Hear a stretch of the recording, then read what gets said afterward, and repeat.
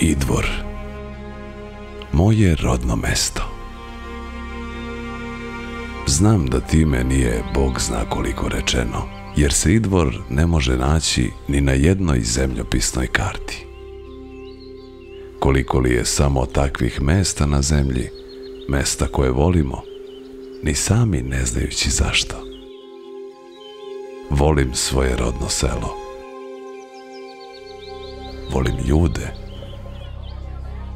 Samouverene i sumnjičave prema svemu novome. Nepismene, ali mudre. Ratnike. Graničare kojima tradicija i čast predstavljaju identitet. Alfu i omegu života.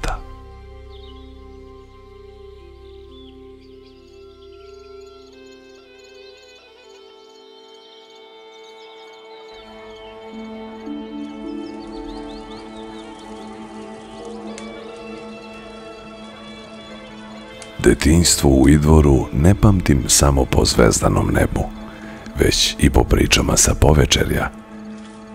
Pričama starijih idvoraca o njihovim ratnim putovanjima i pričama o herojima naše istorije. Kraljeviću Marku, knezu Lazaru, Karađorđu ili Svetom Savi.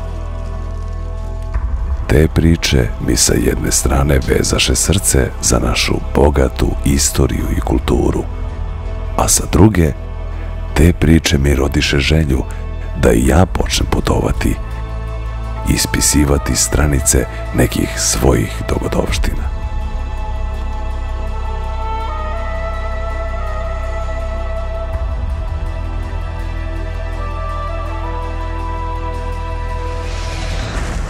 Nijedan čovek ne može ništa veliko postići ako nije zagledan u zvezdano nebo. Sve svoje velike ideje razvijao na osnovu uspomena koje je nosio iz rodnog mesta, uspomena koje su se stvarale gledajući upravo u veliko prostrano i zvezdano nebo nad Idvorom.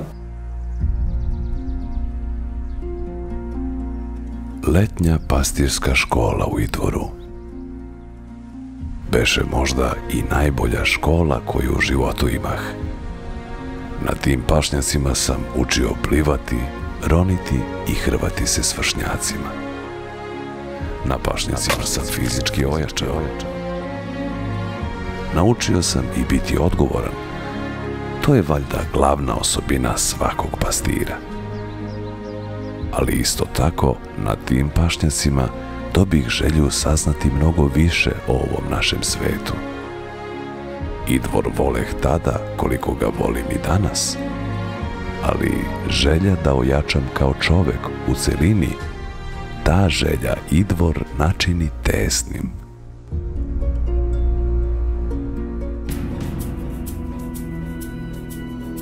U vreme kada sam rođen, Idvor je pripadao takozvanoj vojnoj granici u Austriji. I ta vojna granica imala je svoju zanimljivu istoriju. Sve do početka 18. veka Turci bi ponekad napadali Austrijsku carevinu. S vremena na vreme turske vojske bi prelazile južnu granicu koju činiše Dunav i Sava i upadale duboko u austrijske pokrajine. Jednom u 16. veku turske trupe dopreše čak do Beča i pretiše da postanu ozbiljna opasnost po pretežno hrišćansku Evropu. To se ne desi.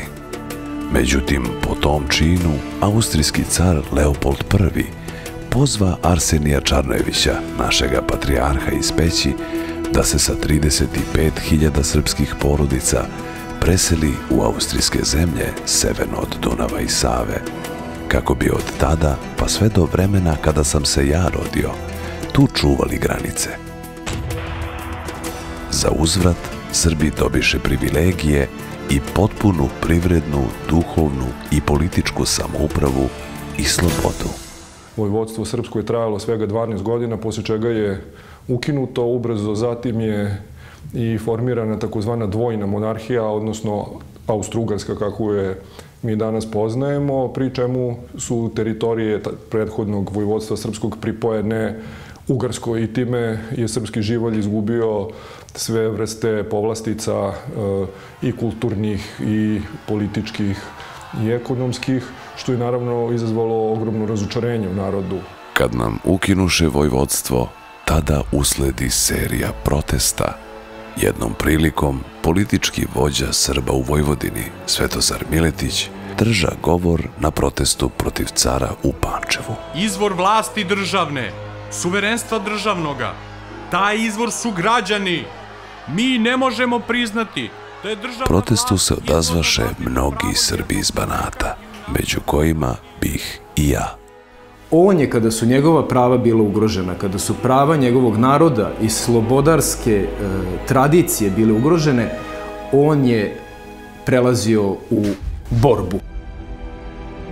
Ta borba je dovela do absurda da je on kao najbolji đak bio pred isključenjem iz škole i ostajao je u Pančevu i u školi samo zahvaljujući intervencijama. Kad ljubav naroda prema zemlji u kojoj živi zamre, tada počinje umirati i ta država.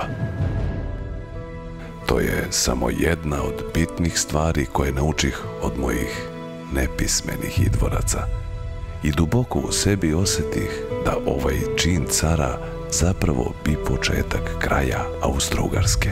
Nažalost, jedini izlaz za mladog i talentovanog Pupina je bio da napusti Pančevo kao što je napustio i Idvor koji je postao premali za njegov talenat i njegove vidike o slobodi i da pređe u važan univerzitetski centar Prag.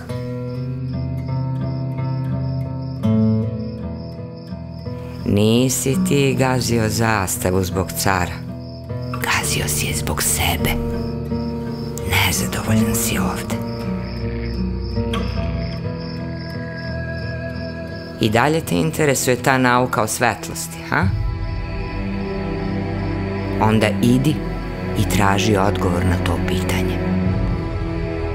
Ja ti, sine, već sad ne mogu dati odgovor ni za prostije stvari. Ne znam šta je svetlost. Sigurna sam samo da je znanje ono što otkrivamo u životu, sigurna sam da je to znanje svetlost koja osvetljava naš put i vodi nas u život pun slave. Nama je danas veoma teško to da razumemo. Kako može roditelj da pošalje svoje dete tako malo u svet koji je neizvestan i pun sukoba? Ali očigledno je odgovor Pupinu uspešan, delatan i verujući život. Svetlost univerzuma koliko se samo čovek oseti mali i nemoćan pred njom. Na svetlost univerzuma sam gledao kao na neku sliku večnog života o kojem je moja majka toliko pričala. Ali šta je ta svetlost? Privlačila me je i plašila. Ostati u selu na sigurnom sa porodicom ili krenuti za njom tako moćnom i opasnom i pokušati da odgonetnem šta je zapravo ona, šta je svetlost. Rastanak Pupina sa ocem i majkom bi za njih bio najteži mogući udarac, jer on je bio njihovo jedino muško dete koje je olimpijada, pijada, dobila u poznim godinama nakon što je više dece izgubila i sada je on bio jedini sin, naslednik poznate seoske porodice. Napustih selo i krenuh za Prag. Tada, po prvi put u životu, videh oca kako plače. A ja imadoh čudan predosećaj. Toliko čudan da kada brod dovoljno odmače, sedoh u jedan ćošak i plakah, sve dok me san ne slomi.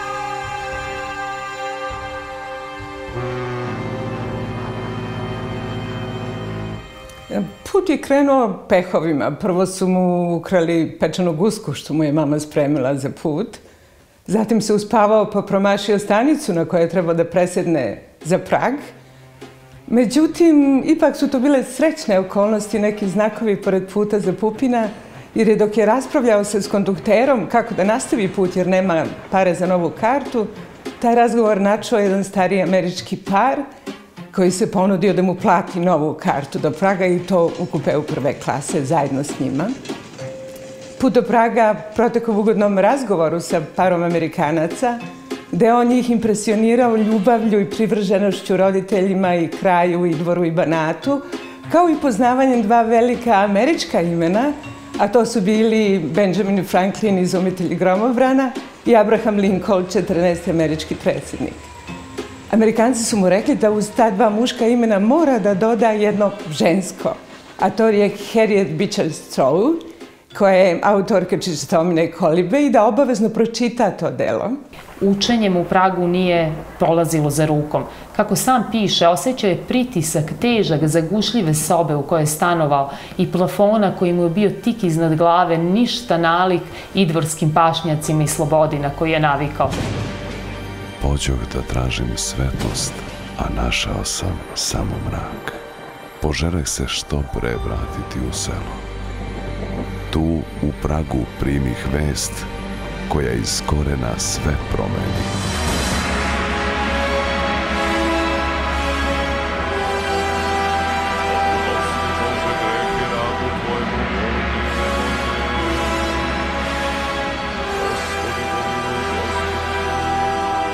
Najgori način da shvatiš koliko nekoga voliš jeste da to shvatiš u trenutku kad taj neko ode iz tvog života.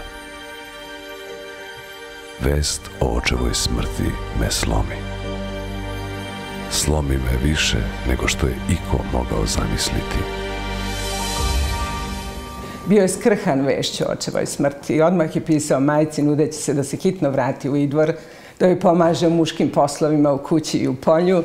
Rekla mu je ne, nećeš se vratiti. I koliko je snage morala da ima ta žena i koliko je imala tu mogućnost da spozna šta Mihajla Pupina čeka na tom njegovom putu. I odlučih. Odlazim iz Praga i ne vraćam se u selo. Rešio sam poći za Ameriku. Amerika je bila u priči i u predanju neki svet koji bi mogao da se osvoji i koji bi mogao da se otkrije. Kraj je 19. veka, početak 20. iz Potpalublja. Pupin odlazi u obećanu zemlju. Iz velikog austrijskog carstva u izazov pred strahom i nepoznatim. Ali imao je veru u sebe. Ljudi i smrad Potpalublja. Uzburkano more, mučnina i osjećaj gladi koji je bio sve jači. Činili su jezivu sliku mog odlaska. Ali ni strah, ni bol, ni gušenja, ništa nije bilo toliko strašno koliko usamljenost i hladnoća. Prokleta usamljenost, kao u nekom zatvoru, osjećao sam se osuđenim.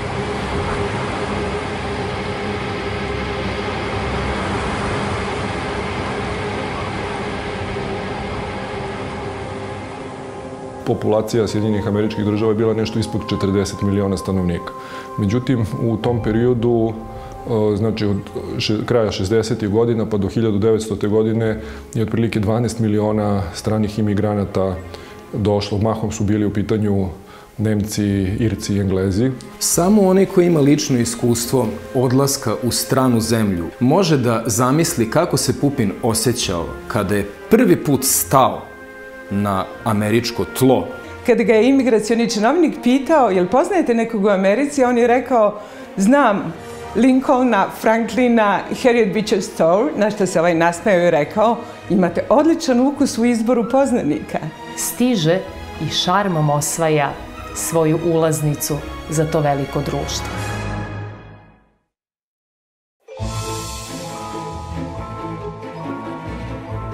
Zemlja razorena građanskim ratom, čiji je predsjednik ubijen pre samo nekoliko godina i u koju su se slivale gomile siromašnih emigranata. Američka demokratija delovala je kao propali eksperiment u očima mnogih, ali meni, kao i svakom čoveku koji je poput mene prešao Atlantik, bilo je jasno da je reč o mestu na kome se stvara nešto što svet još nije video. Život radničke klase je u svakom slučaju bio izuzetno težak i, i naporan, e, izuzetno male nadnice, dugi sati rada. Krečenje mračnih podruma, kanali, seča drveta, rad na farmi, sve je to Pupin rado radio i e, čini mi se sećao se toga sa ponosom. Uslovi studiranja su za bogate bili naravno ovaj, sjajni, kao što je to i danas. E, za siromašne je bilo izuzetno teško, zato što je školarina bila skupa u odnosu na, na dnevnicu, na nadnicu koju je e, prosečan fizički radnik ili neki nekvalifikovani, pa čak i kvalifikovani mogo da, da priušti. Mihajlo Pupin je tokom života zapisao da su porazi samo kratka odmorišta za buduće pobede i ne postoji drugo objašnjenje kako je uspeo da preživi prve godine u Americi, kako je uspeo sebe da spremi da uđe u akademski svet Amerike. Zapadni sistem ima, ima jednu dobru osobinu, a to je da sve oni koji su nadprosečno inteligentni i sposobni e, iz bilo kog sloja društva da dolaze, je spreman da motiviše. Prijemni ispit na Kolumbiji su držali baš uvaženi profesore, a ne neki njihovi mlađi saradnici ili pomoćnici. I oni su bili apsolutno impresionirani Pupinovim znanjem. Kad mu je profesor rekao da nije morao toliko da se trudi da bi položio i sa manje znanja, on je rekao da mu nije bilo teško jer je u tradiciji njegovog naroda da se velika književna dela uče na pamet kao što su srpske junačke pesme ili Njegošev gorski vijenac. A osim toga iskreno je priznao da se potajno nadao ako impresionira komisiju da će biti oslobođen školarine što se i desilo. U jesen godine 1879. postadog student prestižnog Kolumbija koleđa. Ne bi u celoj Americi srećnijeg čoveka od mene.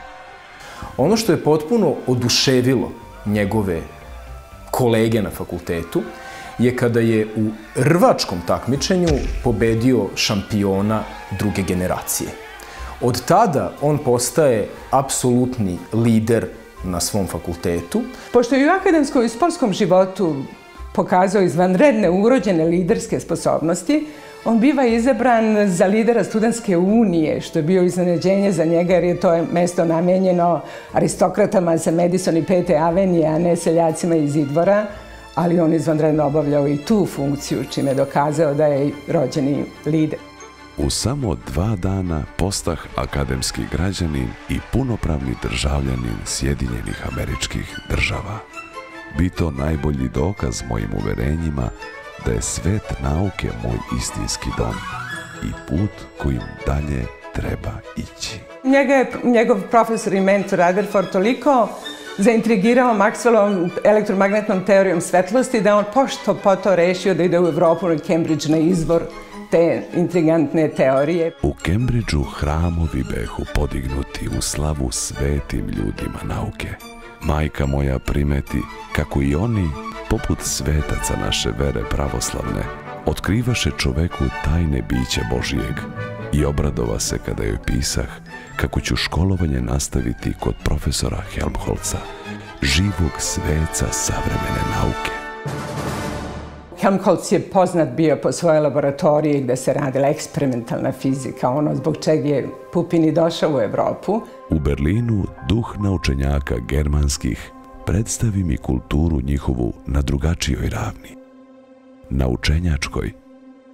Kada ih prepoznah kao ljude dobre, koji poput mene tragaše za svetlom nauke, moj antigermanistički poriv omekša. U Berlinu stekoh titulu doktora nauka i činih sve da našim dvema kulturama, germanskoj i slovenskoj, nađem zajedničkoga i počnem ih miriti. Taj njegov pobednički mentalitet se nije ogledao u tome da on nikad ne izgubi nego da on nakon najtežih životnih poraza nastavi da ide dalje. I najteži porazi koje, o kojima on govori su gubitak najdražih ljudi. Berlin mi dade jednu svetiljku, a drugu uze. Tamo primih vest da se moja majka, Olimpijada Pupin, upokoji. Međutim, na prvu pojavu prilike, on bi je zgrabio i iščupao se iz sa dna. U Berlinu upoznah Saru, ženu koja me privuče i koju poželih srcem spoznati.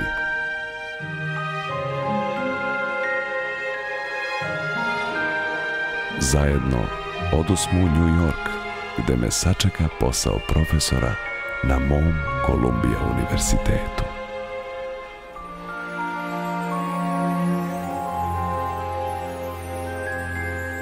Za razliku od mnogih velikih naučnika koji nemaju pedagoškog dara i ne umeju svoje komplikovane teorije da prenesu, na, da približe studentima, Pupin je imao taj dar. Bio je izvanredan pedagog za što je dobio izvanično priznanje, tako da je kao magnet privlačio studente, a on je među njima umeo da razazna briljantne umove koje treba negovati i posticati. Četiri Nobelovca je odnegovo Mihajlo Pupin, četiri velika čoveka, a predavo je pred stotinama i 40 godina svog rada kao profesor često je umeo sam da okarakteriše kao misiju. Mihajlo Pupin je kao mlad predavač na Univerzitetu Kolumbija uspeo da se izbori za sobstveni odsek za elektrotehniku. To je po prvi put na američkim univerzitetima da se elektrotehnika predaje samostalno. Dotad se predavalo u okviru odseka za hemiju, imajući u vidu hemijske izvore električne energije, ili u okviru mašinskih odseka, imajući u vidu generatori. Tako da mu američko društvo i tekako s puno poštovanja odaje počast za ovaj njegov doprinos i u svim velikim institucijama ga se sećaju i zbog toga Pupinovo ime nosi Laboratorija za fiziku, ogromna građevina pod zaštitom države na Kolumbija univerzitetu. Ne prođe decenija kako žive smo spokojni u New Yorku, koji, kao u romanu, nestate u trenu. Nakon što se probudih iz kome, primih vest da je moja supruga Sara preminula od iste bolesti od koje bolovah i ja, i to lečeći mene. Kada mu je umreo otac, e, ta prilika koja se pokazala i iščupala ga sa dna je bio oglas u novinama koji je nudio preko okeanski e, put u Ameriku. Kada mu je umrla majka, on je pronašao novi život u Americi i oženio se. Kada mu je umrla žena, on je možda najteži taj bio udarac za njega kada je postao udovac, tim pre što se žena zarazila negujući njega od iste bolesti, a on ostao živ, ali tada mu je prijatelj doneo dva konja. I on je u tim konjima našao sreću i ne samo sreću, nego su ti konji posle bili šampionski konji na različitim izložbama širom Amerike.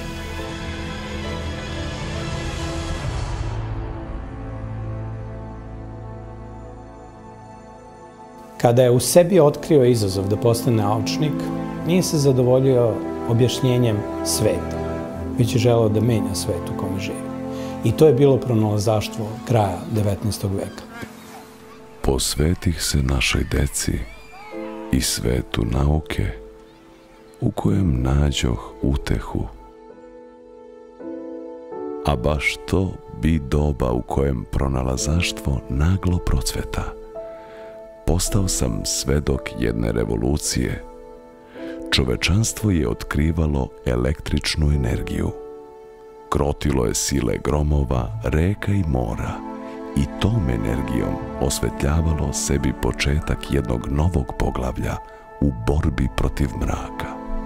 Može se reći da je to epoha koja je donela svetlost u život gradova, do tada je praktično su postojala dva života, život za dana i manje život, jedan pasivni oblik života u, u, u vreme kada padne mrak. Mrak noći je bio zamanjen lampama kerozina i kasnije Edisonovom sjelicom. Bio je svestan da ta velika svetlosna revolucija u stvari predstavlja promenu u shvatanju, da od nauke do pronalazača i primene se znatno skratio vremenski period hteo je da učestvuje u tomu. To su bili društveni izazovi i naučni izazovi koje on spoznao i u kojima je imao bitnu ulogu.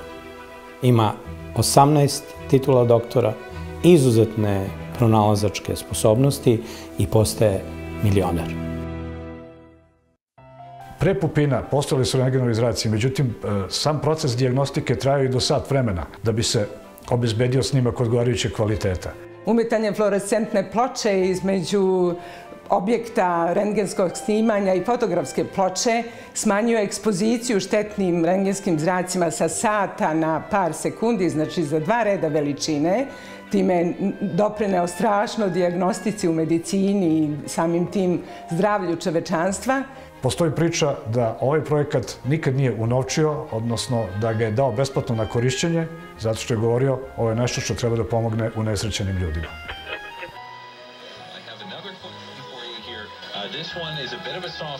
Da li nam je poznato kako koristimo i kako možemo da imamo više kanala na radiju i televiziji?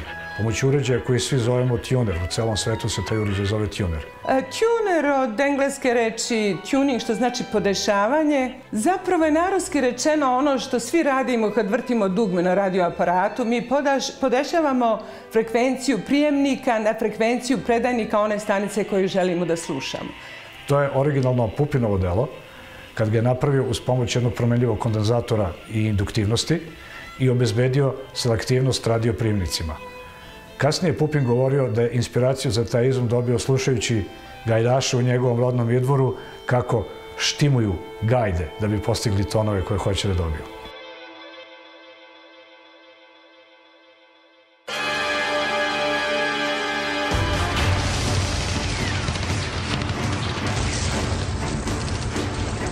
Nauka nas može dovesti do visine bogova sa Olimpa, ali ako zanemarimo duhovni razvoj, nestaćemo u ratovima, mržnji i ekonomskim krizama, govorio je Pupin. Da nam neće pomoći tehnološki razvoj ako ne budemo kao ljudi bili bolji. Nauku poče podmuklost ljudska koristiti da razori svaki spomenik reči Božije na zemlji. Slutivši ovo zlo, zajedno sa prijateljima već dugo radih na osnivanju udruženja naučnih koja za cilj imaše istraživanje prirodnih zakonomernosti i borbu protiv podmuklosti ljudske. Čitav svoj život u Americi, sve resurse kojima je raspolagao, sav svoj novac, ugled u američkom društvu, Mihajlo Pupin je koristio da pomogne kulturno, humanitarno i politički srpski narod. Njegovi mnogi patenti imali su direktnu primenu u vojsci, u detektovanju podmornica, u komunikaciji između aviona u vojnoj avijaciji, što ga je približilo američkom vojnom vrhu pa i američkom državnom vrhu. Jedan od tih primera je 918. godina kada se prvi put u američkoj istoriji zaviorila srpska zastava nad Belom kućom i kada je predsjednik Amerike Woodrow Wilson napisao proglas srpskom narodu koji je čitan u svim crkvama, na svim bogosluženjima, bez obzira na veroispovest i bio je štampan u američkim medijima. Mnoga moja naučna dostignuća pomogoše da se rat što pre završi. Moj položaj dovede me do kabineta samog predsednika Vilzona. Tada dobih priliku založiti se i objasniti mu slobodoljubive namere moje otačbine i moga naroda. Kao počasni konzul Srbije od 1912. godine, mnogo je doprineo da danas živimo u zemlji koju prepoznajemo kao svoju domovinu. Pupin je govorio da ne postoji veće zadovoljstvo za čoveka od njegovog poštenog uverenja da je posao uradio tako da je u njega uložio sav svoj trud i sve svoje sposobnosti. Kada vidite fotografije NASE u na kojima u osnivačkom odboru te velike institucije sedi Mihajlo Pupin. Kada shvatite da Amerika nije imala predsednika Njujorske akademije nauka rođenog van Amerike do Mihajla Pupina, kada saznate da se u njegovom kabinetu osnovalo američko društvo fizičara, vidite koliko je njegova nesebičnost bila velika. Pronalazač Mihajlo Pupin zadužio je svet velikim brojem pronalazaka koji su registrovani u 34 patenta. Bez njegovih pronalazaka ne bismo danas mogli da telefoniramo, ne bismo mogli da gledamo televiziju i koristimo radio, niti bismo imali savremena sredstva medicinske diagnostike. Da li nam je poznato kako koristimo i kako možemo da imamo više kanala na radiju i televiziji? Pomoću uređaja koji svi zovemo tuner, u celom svetu se taj uređaj zove tuner. To je originalno Pupinovo delo. Kasnije je Pupin govorio da je inspiraciju za taj izum dobio slušajući gajdaše u njegovom rodnom idvoru kako štimuju gajde da bi postigli tonove koje hoće da dobiju. Mogu da zaključim da se redko u jednoj osobi steknu sve te osobine izvanrednog naučnika, inovatora, preduzetnika, diplomate, pedagoga, dobročinitelja. Zato mi u Institutu Mihajlo Pupin s ponosom nosimo njegovo ime i trudimo se da i sami kombinujemo nauku, inovaciju, e, preduzetništvo, dobročinstvo. Jedna ideja provejava kroz svo Pupinovo stvaralaštvo, bilo, bilo da su u pitanju knjige, pronalasci, naučna karijera ili lični život. A to je osjećaj snažnog čoveka ornog za trku. Imamo li mi danas takav osjećaj?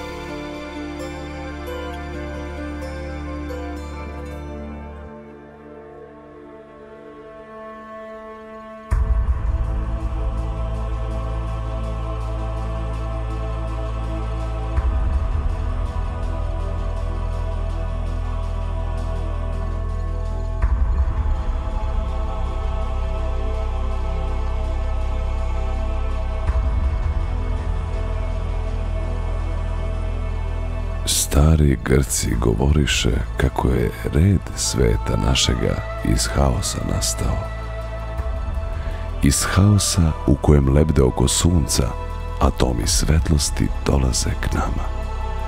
Plodnoj zemlji našoj smisao daju u obliku života.